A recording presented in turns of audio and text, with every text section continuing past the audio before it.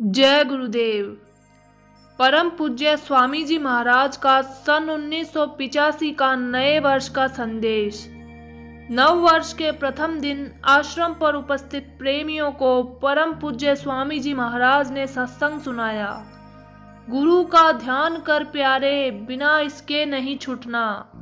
यह प्रार्थना स्वयं प्रेमियों से करवाने के पश्चात स्वामी जी ने कहा कि आज साल का पहला दिन है। और सन उन्नीस सौ पचासी शुरू हो रहा है। संसारी लोगों के लिए यह साल अच्छा नहीं है। जो धर्म में और ईश्वर में आस्था रखते हैं, उन सब में बड़ी दृढ़ता, मजबूती और साहस आएगा। उन लोगों के लिए विचारों का प्रारंभिक अच्छा दिन शुरू हो रहा है। दुनियादार जो ईश्वर में, महात्माओं में, धर्म ग्रंथों में, फकीरों में यकीन और विश्वास नहीं करते, उनके लिए परेशानी खड़ी हो गई। ये सब लोग उस तरफ़ अपने इरादे और भाव बनाएँगे, जिधर लोग ईश्वर में विश्वास और खुदा में यकीन करते हैं। स्वामी जी ने कहा तो अच्छा हुआ। आज सन पिचासी के प्रारंभ में आप लोग यहाँ आकर अचानक पधार गए। मैं इन दिनों बाहर कहीं नहीं गया। मैं यही हूँ। जब से भंडारा हुआ है, तब से मैं आश्रम में पड़ा हूँ। आप लोगों को ये विचार करना चाहिए कि आश्रम पर हैं और कहीं गए नहीं तो कोई बात तो ज़रूर है।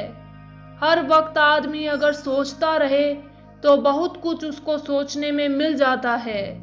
वह समझने लगता है और समझकर कहने लगता है, पर आप विचार छोड़ दो और इतना भी न सोचो कि आश्रम पर क्यों रह गए, बाहर क्यों नहीं गए तो ठीक नहीं।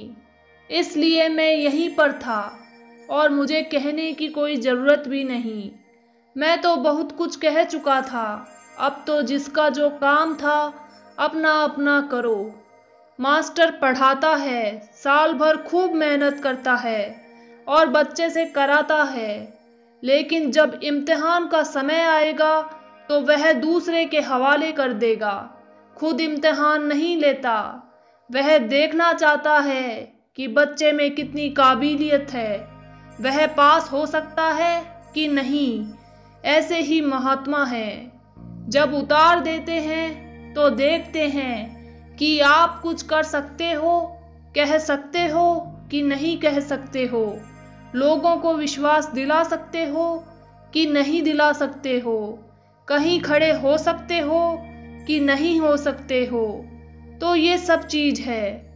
फिर उसके सबके अलग अलग दर्जे हैं। इतना अभी जाना है, इतना कल जाना, इतना फिर जाना।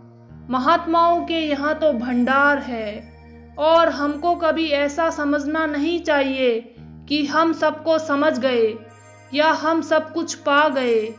ऐसा समझना चाहिए कि हमने अभी कुछ नहीं पाया और न हमने कुछ समझा।